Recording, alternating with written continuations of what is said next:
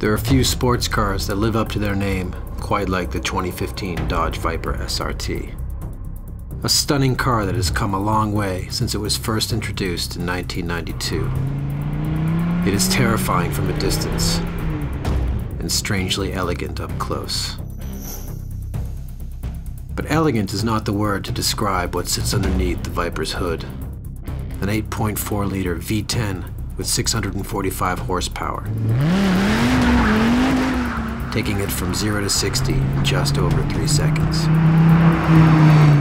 It comes with 4 piston Brembo brakes and an interior made with handcrafted parts and aluminum accents. In 1992, the Viper was a crude expression of raw force. Now, its ride is almost civilized. Almost.